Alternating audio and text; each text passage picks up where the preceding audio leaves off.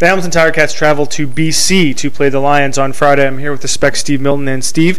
Tiger Cats have won three straight, uh, but the Lions are a different deal. A couple of other numbers there beside three straight, 12 and 1. And that's what the BC Lions are in regular season at home. That said, they did lose a game that they shouldn't have lost uh, last year to, to, Calgary at, at, at home.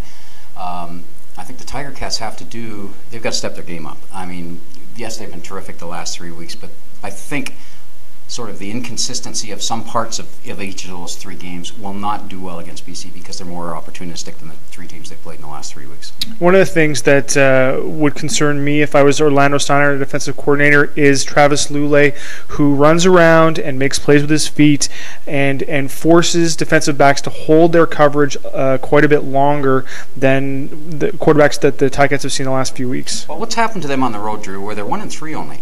Is that uh, teams are really blitzing them from unusual situations, and that's right up uh, Orlando's uh, wheelhouse. He's starting now. I'd say the last two games you've seen unusual blitzes come from not unusual, but but but really uncallable blitzes. If you're the offense, it's really hard to, to pick that up. I think they have to take their shots there, which means there's going to be some big strikes.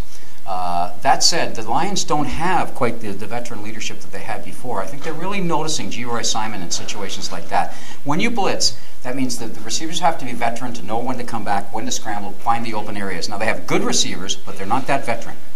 Make sure you check out uh, Friday Spectator for a full game preview as well as Steve's column. Reporting for the Hamilton Spectator, I'm Drew Edwards.